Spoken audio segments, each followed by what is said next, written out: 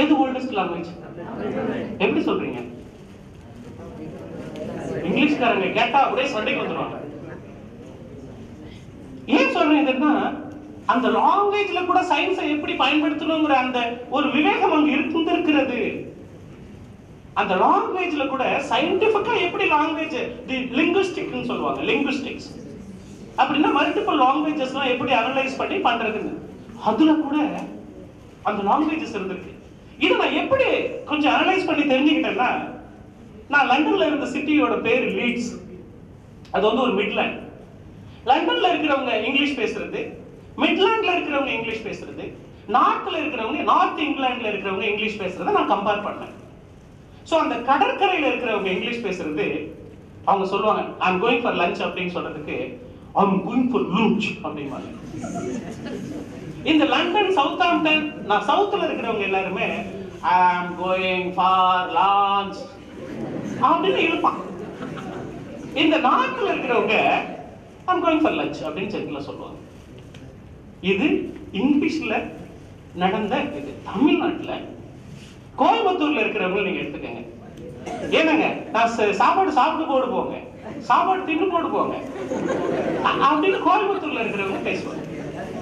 மதுரையில இருக்கிறவங்க எப்படி பேசுவாங்க? ஏன்னா இங்க வாழ. என்னடா போல இங்க வாழ போலம்பாங்க மெட்ராஸ்ல இருக்கிறவங்க தமிழ் எப்படி பேசுவாங்க? என்ன நான் சொல்லிக்கிட்டே இருக்கேன் நீ போய்கிட்டே இருக்க நீ வந்துக்கிட்டே இருக்கிற அப்படிமா இதுக்கெல்லாம் என்ன காரணமா இருக்குன்னு நீங்க நினைக்கிறீங்க?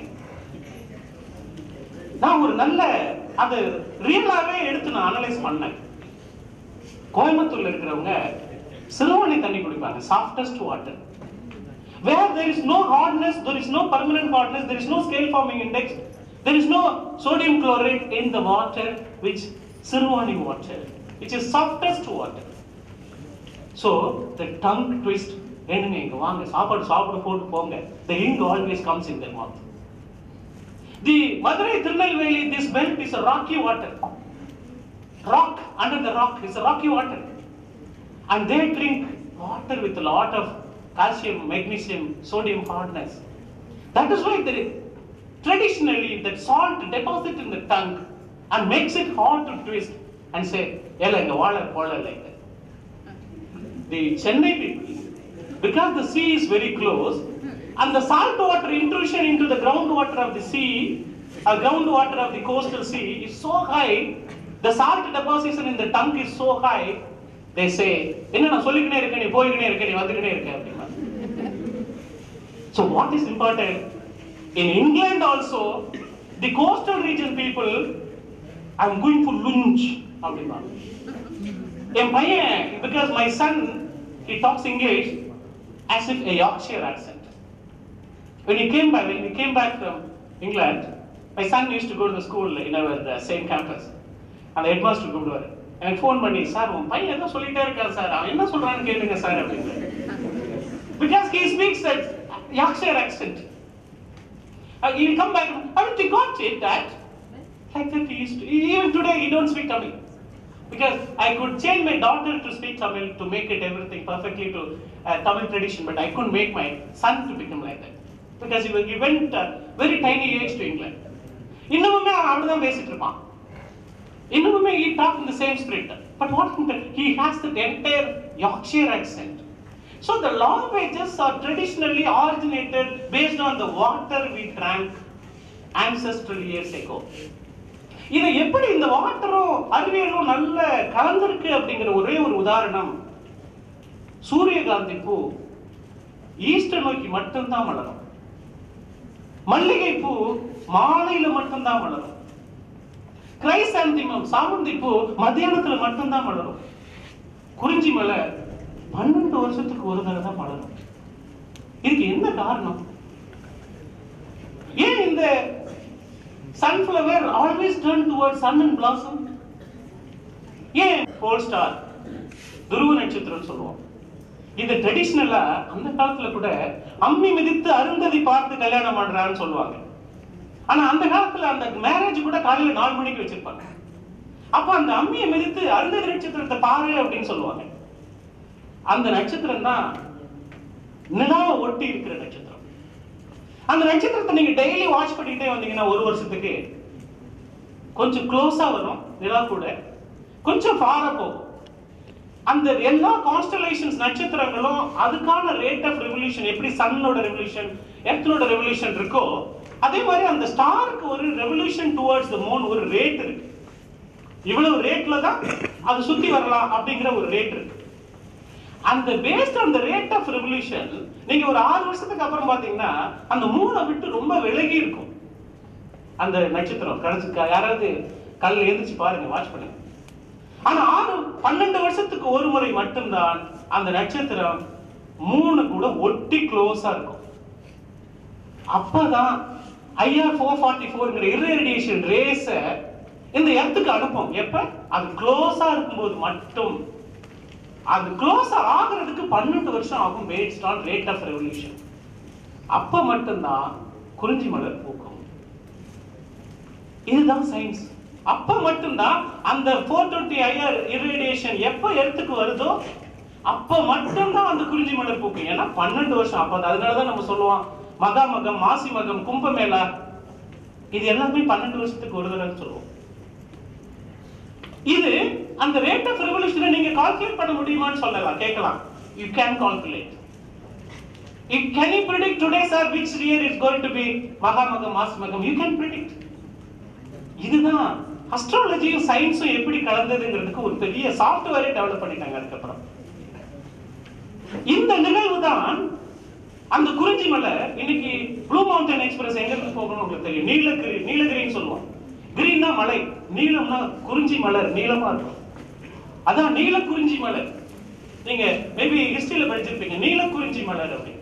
அந்த நீல குறிஞ்சி மலர் நீலகிரியில பன்னெண்டு வருஷத்துக்கு ஒரு தடவை அப்படியே பியூட்டிஃபுல்லா ப்ளூயிஷா இருக்கும். That's why it's called blue mountain So there is a science behind everything, every what happened in this besides. Sir இந்த சயின்ஸ் எல்லாம் நம்ம யூஸ் பண்ணி நம்மளோட அறிவுத்திறனை வளர்த்துக்கிறதுக்காக எப்படி நான் மாறிக்க வேண்டும் அப்படின்னா என்னோட வாழ்க்கையில சில டீச்சர்ஸ் சொல்லுவாங்க சயின்டிஸ்ட் வந்து மூணு வகையா பிரிப்பாங்க எடுத்து செய்யற சயின்டிஸ்ட் கொடுத்து செய்யற சயின்டிஸ்ட் கொடுத்தாலும் செய்யாத scientist scientist are three category students also எடுத்து செய்யற ஸ்டூடெண்ட் கொடுத்து செய்யற ஸ்டூடெண்ட் கொடுத்தாலும் செய்யாத ஸ்டூடெண்ட் நான் அண்ணா யூனிவர்சிட்டியில எம்டெக் என்வாயர்மெண்டல் இன்ஜினியரிங்க்கு கடந்த இருபது வருஷமா ப- பதினஞ்சு வருஷமா டீச் பண்ணிட்டு இருக்கேன். கான்செப்டை நீங்க ஃபாலோ பண்ணலன்னா நீங்க அந்த ட்ரெயின்குள்ள போய் பிடிக்க முடியாது so see properly sense properly you have to sense properly you have to understand it அண்ட் properly and you should be able to அதைத்தான் இந்த லைட் இருக்கு பார்த்தீங்களா? இந்த லைட்டுக்கு வந்து நாலு குணங்கள் உண்டு. Four characters of light emission reflection, rarefaction and absorption. the four qualities of light. Emission reflection rarefaction and absorption. பார்த்தல் உணர்தல் அறிதல் விளக்குதல். If you miss any one of this you learned everything. நல்லா கத்துக்கிட்டீங்க. ஆனா உங்களுக்கு சொல்ல தெரியல. நான் இதை எப்படி சின்ன வயசுல இருந்தே வளர்த்துக்கணும் அப்படின்னா நான் இதே 11th ஸ்டாண்டர்ட் படிக்கும்போது இந்த ஸ்கூல்ல ஒரு inter school science talent exhibition Bishop Heber காலேஜ்ல நடந்துச்சு. இந்த ஸ்கூல்ல இருந்து என்ன தேர்ந்தெடுத்திருந்தாங்க. நான் போய் அப்பவே இன்னைக்கு நான் பயின்ற சயின்ஸ் வந்து எனக்கு அப்பவே வளர்ந்ததுங்கிறது நான் என்ன கா- உதாரணம் சொல்ல விரும்புறேன்னா அந்த 11th படிக்கும்போது அந்த இன்டர் ஸ்கூல் சயின்ஸ் டேலண்ட் எக்ஸிபிஷன்ல நான் போய் பார்ட்டிசிபேட் பண்ணேன். அந்த பண்ணதனோட டாபிக் தெர்மோகோல்ல பண்ணி வச்சிருக்கேன் அது என்ன டாபிக் பண்ணேன்னா வேஸ்ட் இன்டு எனர்ஜி குப்பையிலிருந்து எரிசக்தி அப்படிங்கிற டாபிக் எப்போ நான் 11th படிக்கும்போது. அது என்ன பண்ணேன்னா சும்மா வெறும் பேப்பர்லாம் எடுத்துக்கிட்டேன். அந்த பேப்பர் எடுத்து ஒரு இதில் போட்டு எரிச்சேன். எரிக்கும் போது நல்ல குக்கர் எடுத்துக்கிட்டேன். இன்னும் விசில் குக்கரில் விசில் வரும்ல நம்ம ரைஸ் குக்கர் அந்த குக்கரை வச்சு அது மேலே வச்சிட்டேன். இந்த குப்பையெல்லாம் எரிச்சிக்கிட்டு இருக்கும்போது அந்த விசில் வந்து ஃபாஸ்ட்டாக வரும். நம்ம சைக்கிளில் டைனமோ இருக்கு பார்த்தீங்களா அந்த சைக்கிள் டைனமோ எடுத்துக்கிட்டு அதில் ஒரு சின்ன மெட்டாலிக் டர்பைனை நல்லா மேலியபிளா ரொட்டேட் பண்ணுற டர்பைனை ஒன்று நானே ஆணி அடிச்சு செஞ்சேன். அந்த விசில் வருது பாருங்க. அந்த விசில் வர்றப்ப இந்த டர்பைனை அட்டாச் பண்ணேன். அந்த விசிலோட ஃபோர்ஸ்ல இருந்து இந்த டர்பைன் ஃபாஸ்டா ரொட்டேட் ஆகும். ரொட்டேட் ஆகும்போது சைக்கிள்ல இருக்கிற டைனமோ அதில் கொண்டு கனெக்ட் பண்ணி விட்டு அந்த டைனமோல இருந்து சின்ன சின்ன பல்பா போட்டு ஒரு ஸ்ட்ரீட் டெவலப் பண்ணி தெர்மகோல்ல அதுல மரங்கள் டெவலப் பண்ணி அந்த மரங்கள்ல லைட் எரியுது குப்பையிலிருந்து எரிசக்தி. அப்படிங்கிறத நான் 11th படிக்கும்போது அதை நான் பண்ணேன் collector Viswanathan Viswanathan was the district collector அந்த that time I got the best prize out of all inter schools and our school got a best prize. I was the man who did that. I was the. I was the concept வந்து குப்பையிலிருந்து எரிசக்தி இன்னைக்கும் நான் பண்ணியிருக்கிற research இன்னைக்கு even today அதே குப்பையிலிருந்து எரிசக்தியை தான் நான் தொடர்ந்து கொண்டிருக்கிறேன் என்ற உதாரணத்தை இங்கு சொல்ல விரும்புகிறேன். எப்படி சாலிட் வேஸ்ட்ல இருந்து பயோடீசல் தயாரிக்கிறது. எப்படி சாலிட் வேஸ்ட்ல இருந்து பயோகேஸ் பவர் தயாரிக்கிறது? அதை நான் உங்ககிட்ட காமிக்க போறேன் கொஞ்ச நேரத்துல. எப்படி சாலிட் வேஸ்ட்ல இருந்து என் பேச்சை கேட்டு இது பண்ணணும் அன்றே எனக்கு ஒரு நம்பிக்கை மனதில் இருந்தது. நான் ஒரு நல்ல விஞ்ஞானியாக வாழ முடியும் என்ற நம்பிக்கை அன்றே இருந்தது. அன்றே அந்த நம்பிக்கை என் மனதில் இருந்தது. ஏனென்றால் உங்களது நம்பிக்கை மட்டும்தான் நீங்கள் எந்த குடும்பத்தை சேர்ந்தவராகவும் இருக்கலாம். நான் ஒரு ஏழை குடும்பத்தை சார்ந்தவர் தான். எந்த குடும்பத்தை சேர்ந்தவராக வேண்டாலும் நீங்கள் இருக்கலாம். ஆனால் உங்களது நம்பிக்கை உங்களது பெரிய உயரத்துக்கு எடுத்துச் செல்லும் என்பதற்கு உதாரணம் Abdul Kalam. Chandra Abdul Kalam T N Seshan Venkataraman Sivaramakrishnan Chandrasekhar. இவங்க எல்லாருமே கண்டிப்பா ஒரு பெரிய ராயல் ஃபேமிலில இருந்து வரல. அப்படி ஒரு சின்ன ஃபேமிலியில இருந்து அவங்களோட உந்துதல் எனர்ஜி இன்டர்னல் எனர்ஜினால வளர்ந்தவங்க தான் எல்லாருமே. சசிகிராமன்ல இருந்து எல்லா சயின்டிஸ்டுமே ஆனால் சசிகிராமன் சந்திரசேகர் அப்துல் கலாம் டிஎன் சேஷன் இவங்க நாலு பேருமே ஒரு நல்ல ஹைட்டை ரீச் பண்ணியிருக்காங்க. ஆனா அந்த நாலு பேரும் எங்க படிச்சாங்கன்னு தெரியுமா உங்களுக்கு? யாராவது சொல்ல முடியுமா? இந்த திருச்சி மண்ணில் செயின்ட் ஜோசப் கல்லூரியில் படித்தவர்கள் அந்த நாலு பேர். சசிவிராமன் சசிவிராமன் திருச்சியில் செயின்ட் ஜோசப் கல்லூரியில் படித்தவர். சந்திரசேகர் செயின்ட் ஜோசப் கல்லூரியில் படித்தவர். அப்துல் கலாம் செயின்ட் ஜோசப் கல்லூரியில் படித்தவர். T N Seshan Saint Joseph கல்லூரியில் படித்தவர். அந்த கல்லூரி அவரை இந்த அளவுக்கு உயர்த்தியதா? அவர்களது உண்மையான உழைப்பு இந்த அளவுக்கு உயர்த்தியதா என்று சொன்னால் இன்று நான் இங்கு நிற்பதற்கு காரணம் இந்த கல்லூரியும் இந்த புத்தகம்பட்டி மண்ணும் என்பதற்கு ஒரு உதாரணம். அந்த கல்லூரியும் ஒரு பெரிய பங்கு வகிக்கிறது ஒருத்தரோட உயர்வில் என்பதை நீங்கள் மறந்து மறந்துவிடக் கூடாது It creates a good ambience for the students. It creates a good environment for the students. It creates a good thinking process for the student. அந்த ஆம்பியன்ஸ் செயின்ட் ஜோசப்ஸ் கல்லூரி புத்தனாம்பட்டி கல்லூரி நான் லண்டனில் இருக்கும் பொழுது கிரேட் ஹால் என்ற ஒரு நம்ம பார்லிமெண்ட் மாதிரி அங்க ஒரு ஹால் உண்டு அந்த ஹால்ல ஜெயபிரகாஷ் ஒருத்தர் சந்திச்சேன். அவர் ஒரு பப்ளிக் ரிலேஷன் ஆபீசர் அவர் இந்த கல்லூரியின் பியூசி மாணவர். ஜெயபிரகாஷ் இந்த கல்லூரியின் பியூசி மாணவர் குயின்ஸோட வீட்டில் கிரேட் ஹாலில் ஒரு பப்ளிக் ரிலேஷன் ஆஃபீஸராக இருக்கார். ஆனால் அவரும் மிகவும் தாங்கிய ஒரு விவசாய குடும்பத்தை சேர்ந்தவர். இதைத்தான் உங்களுக்கு நான் சொல்ல விரும்புகிறேன். எதற்காக என்றால் நன்கு யோசித்து பாருங்கள். ரெண்டு ஃப்ளைஸ் சிஎஸ்ஐஆரில் அந்த டெல்லி தமிழ் சங்கம்னு ஒன்று உண்டு அங்க. அதில் நான் ஸ்டூடெண்ட்ஸுக்காக குயிஸ் ப்ரோக்ராம் நடத்துகிற குயிஸ் மாஸ்டர் நான் அப்போ. ஆறு மாதத்துக்கு ஒருக்க ப்ளஸ் ஒன் ப்ளஸ் டூ ஸ்டூடெண்ட்ஸுக்கு சயின்ஸ் குயிஸ் போய் நடத்துவேன். அந்த டெல்லி தமிழ் சங்கத்தில் நான் ஒரு குயிஸ் மாஸ்டர் அப்போ டிஎன் சேஷனை சந்திக்கிற ஒரு வாய்ப்பு கிடைச்சது.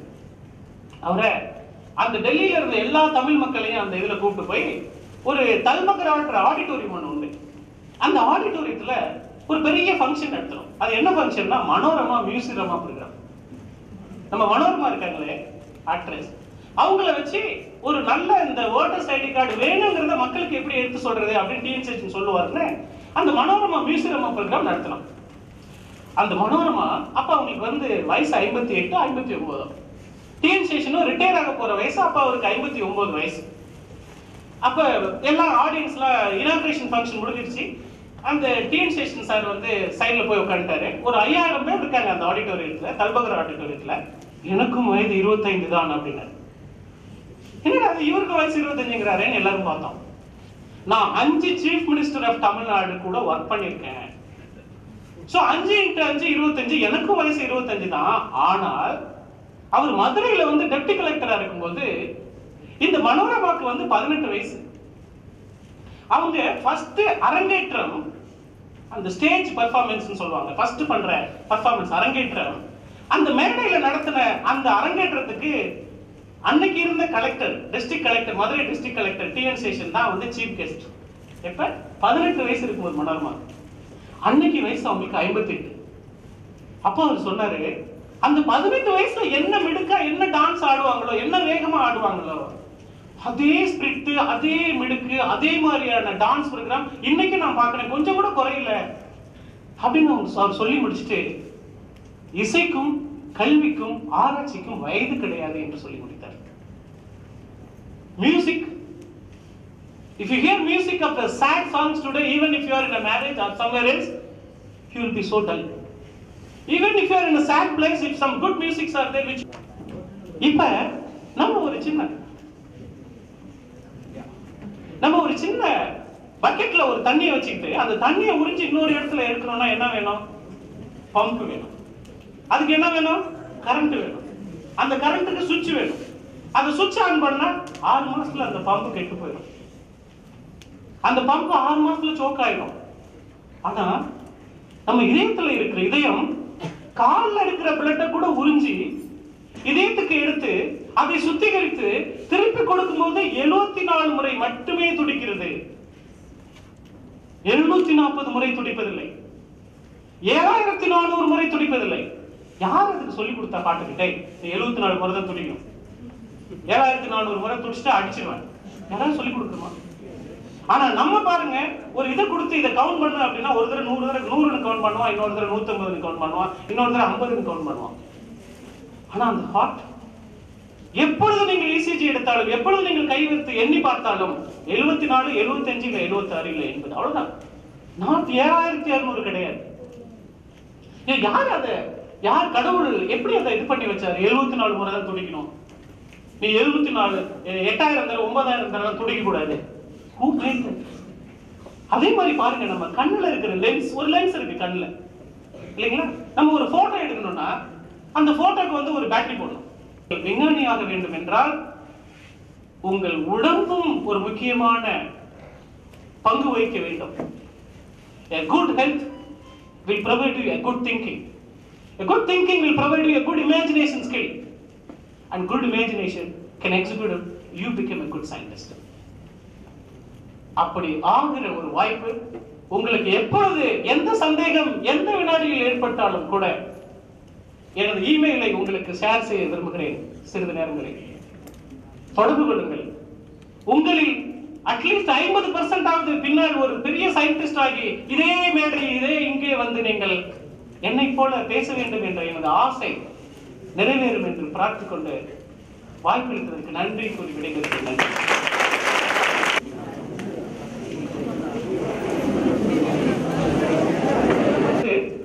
நம்ம இது வந்து ஒரு environmental pollution control problem pollution கண்ட்ரோல்ங்கிற ஒரு ப்ராப்ளம் நம்ம சாலிட் வேஸ்ட் இன்னைக்கு ஜெனரேட் பண்றோம். இன்னைக்கு வேஸ்ட் வாட்டர் ஒவ்வொருத்தரோட வீட்ல இருந்தும் வேஸ்ட் வாட்டர் ஜெனரேட் பண்றோம். நம்ம ஒரு பர்சனுக்கு ஒரு அரை கிலோ மட்டும்தான் நம்ம குடிச்சிட்டு இருந்தோம். இன்னைக்கு எல்லார் வீட்லயும் ஒரு மினரல் கேன் எல்லார் வீட்லயும் ஒரு மினரல் கேன் இந்த சூழ்நிலை இன்னும் ஒரு முப்பது வருஷத்துக்கு அப்புறம் நம்ம தண்ணியை குடிப்போமா? பிளட்டை குடிப்போமா? பெட்ரோலை குடிப்போமா? அப்படிங்கிறது ஒரு கேள்வி. ஏன்னா நம்ம அப்ப போட்ட சாலிட் வேஸ்ட் அப்ப போட்ட குப்பைகள் எல்லாம் மழை வரும்போது அந்த குப்பைகள்ல இருக்கிற கெமிக்கல்ஸ் வேதிப்பொருள்கள் அந்த மழையின் தண்ணியோட சேர்ந்து கிரவுண்ட் வாட்டர் போய் பாதிச்சதுனால இன்னைக்கு நம்ம அந்த தண்ணியை குடிக்க முடியாம இருக்கோம். இன்னைக்கு மெட்ராஸ்ல ஒரு சுனாமி வந்துச்சு. நீங்க எல்லாம் கேள்விப்பட்டிருப்பீங்க. சுனாமி வந்துருச்சு மெட்ராஸ்ல. ஒரு முப்பது வருஷத்துக்கு முன்னாடி சுனாமிங்கிறது யாருக்கு அந்த வார்த்தை கூட தெரியாது. ஜப்பான்ல சுனாமி வந்து ஒரு பெரிய இதையே கொண்டுருச்சு லட்சக்கணக்கான மக்கள் இறந்துட்டாங்க. இதுக்கெல்லாம் காரணம் என்னன்னு கேட்டீங்கன்னா குளோபல் வார்மிங் உலகம் வெப்பமயமாதல். அது ஒரு பெரிய காரணம். சார் எப்படி சார் உலக வெப்பமயமாதலுக்கு சுனாமிக்கு என்ன சம்பந்தம் அப்படின்னா இந்த பூமி வந்து 75% சதவிகித வாட்டரும் இருபத்தஞ்சு சதவிகிதம் லேண்டும் இருக்கிற இடம் நம்ம பூமி. இருபத்தஞ்சு சதவிகித வாட்டரும் எழுபத்தஞ்சு சதவிகிதம் சாரி எழுபத்தஞ்சு சதவிகித வாட்டரும் இருபத்தஞ்சு சதவிகிதம் லேண்டும் இருக்கிற இடம். நம்ம பொல்யூஷன்னால வர்ற கார்பன் டை ஆக்சைடும் மீத்தேன்கிற கேஸும் குளோபல் வார்மிங்க்கு வெப்பமயமாதலுக்கு உண்டாகிற கேஸ்.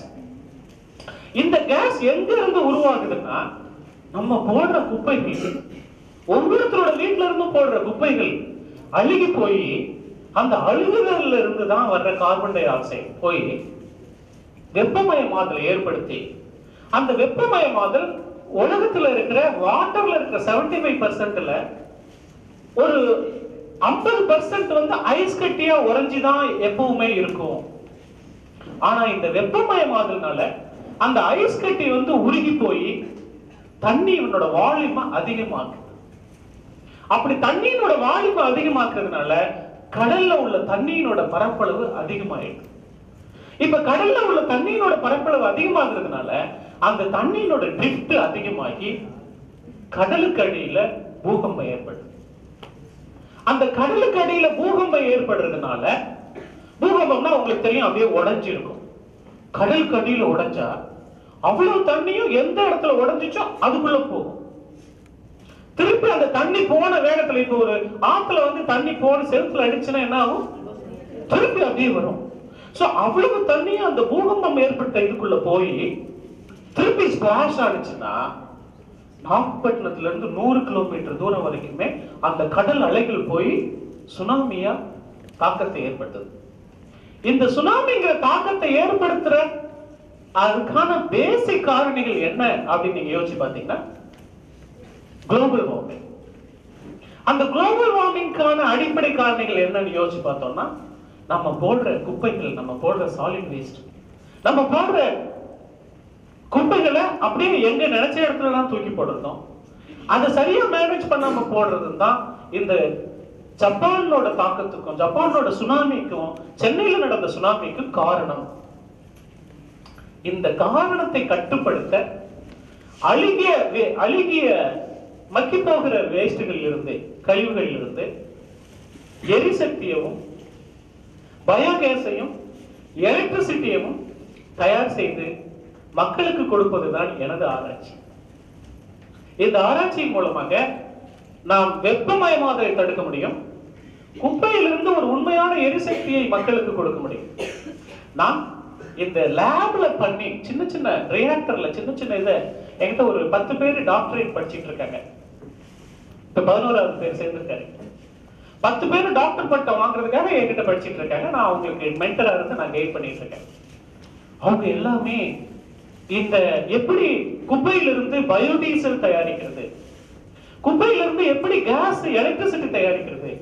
குப்பையிலிருந்து எப்படி இதை தயாரிக்கிறதுங்கிறத சின்ன லேப்ல பண்ணி அதை ஒரு மூன்றரை கோடி நாலு கோடி அஞ்சு கோடி ஆறு கோடி ரூபாய் பொறுமானம் உள்ள ஒரு பெரிய இந்த ரூம் அளவான சைஸை மாத்தி அதுல இருந்து ஒரு பெரிய கரண்ட்டை ப்ரொடியூஸ் பண்ணி எப்படி நான் பத்தாவது பதினொன்றாவது படிக்கும் போது அந்த இதை நடத்தினமோ அதே மாதிரியான ஒரு பெரிய திட்டங்களை செய்து கொண்டிருக்கிறேன். அதைதான் நீங்கள் பார்க்க போகிறீர்கள். இதை ஆர் கியூப் என்று சொன்னால் வேஸ்ட ரெடியூஸ் பண்ணுமா? ரீசைக்கிள் பண்ணுமா? ரெக்கவர் பண்ணுமா? பக்ஸ் கிட்ட கொடுக்கணுமா? பக்ஸ்னா இங்கிலீஷ் டேர்ம்ல பாக்டீரியா பக்ஸ் அப்படின்னா பாக்டீரியா அதான் பி கியூப்னா பரி பண்ணும் பேர்ன் பண்ணுமா? இன்சினரேட்டர் இந்த வேஸ்ட் இருக்கு. இதை இன்சினரேட்டர்ல போட்டு எரிச்சா நிறைய கார்பன் டை ஆக்சைடு வரும் நிறைய குளோபல் வார்மிங் ஏற்படும். ஆனா பூமிக்குள்ள போட்டா நிறைய கிரவுண்ட் வாட்டர் பொல்யூஷன் ஏற்படும். ஆனா பாக்டீரியா கிட்ட கொடுத்தா பாக்டீரியா சாப்பிட்டு மூச்சு விடும்போது மீத்தேன்ங்கிற கேஸ் கொடுத்து அந்த கேஸ்ல இருந்து எலக்ட்ரிசிட்டி ப்ரொடியூஸ் பண்ணால் நம்ம இ அச்சீவ் பண்ண முடியும். இ கியூப்னா என்னன்னா